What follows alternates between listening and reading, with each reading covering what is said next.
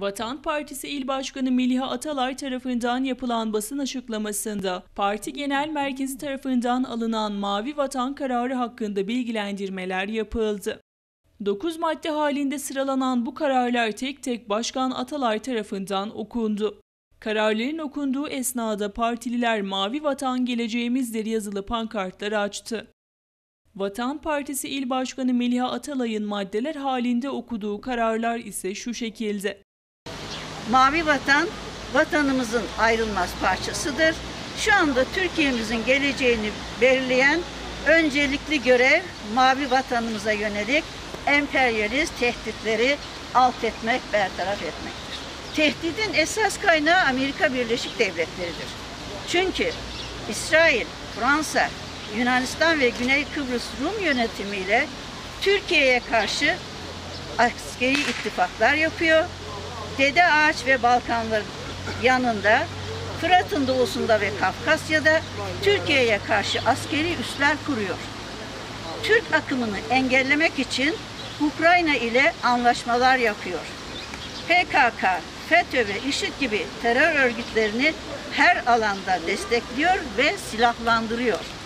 Bu gerekçeye rağmen, e, gerçeklere rağmen ABD'yi tehdidin dışında ya da kenarında gösterme çabaları tehdidin ağırlaşmasına hizmet etmektedir. Doğu Akdeniz'deki meydan okumaların ve hesaplaşmaların sonucunu kuvvet belirleyecektir.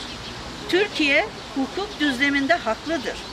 Ne var ki bu haklı konum ancak ve ancak kuvvet sayesinde hayata geçer.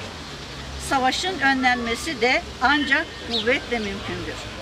Savaşı önleyecek etkenler en başta devletimizin kararlılığı, milletimizi seferber etme yeteneği, silahlarım, silahlı kuvvetlerimizin üstün savaş gücüdür. Milletimiz ile devletimiz arasındaki birliktir. Komşularımızdan Asya'nın derinliklerine kadar uzanan ittifak birikiminin ortak çıkarlar temelinde devreye sokulmasıdır. İç cephede yıkıcılığa karşı mücadele. Türkiye'mizin dış tehditlerle karşı karşıya olduğu koşullarda iç cephede de yıkıcı faaliyetlerin baş göstermesini ibretle saptıyoruz. CHP Genel Başkanı 8 Eylül 2020 günü yaptığı parti meclisinin açık konuşmasında iç cephede yıkıcı faaliyetlerin işaret fişeğini ateşlemiştir. Sizler de biliyorsunuz. Kılıçdaroğlu'nun Doğu Akdeniz'den yönelen tehditlere arkasını dönerek iç cephede bölünme ve düşmanlık kışkırtan söylemini kınıyoruz ve milletimizin değerlendirmesine sunuyoruz.